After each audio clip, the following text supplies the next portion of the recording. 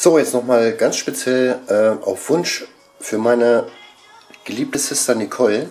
Macaroni pervers. Wie macht man Macaroni pervers? Das ist das geilste, das mache ich mir heute, das geilste und billigste Essen. Dreimal G, also 3G, ja. Geil, günstig und ähm, geil, günstig und äh, was war das dritte G? Mir fällt es gerade nicht ein. Dreimal G auf jeden Fall. Das ist die 3G-Beschleunigung fürs, fürs Brain, ja. Das ist unglaublich, wie geil das ist, ne? Und eine Milliarde Asiaten können Sie nicht irren. Mononatriumglutamat ist das geilste Zeug. Glaubt mir, die können Sie nicht irren. Ähm, Macaroni kochen. Im Sieb auskippen.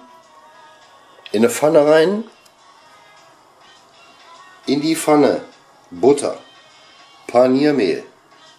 Goldknusprig braten das Ganze. Ja, so die Macaroni, die müssen mit, mit der Butter und dem Paniermehl in Symbiose gehen, ja, in Symbiose, das ist ganz wichtig.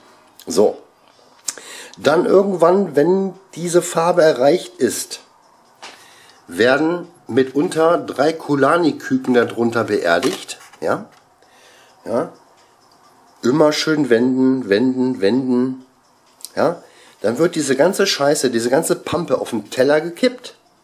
Und der Grad der Perversität dieses Gerichtes richtet sich danach, wie viel ihr von dieser braunen Plüre da drüber gießt.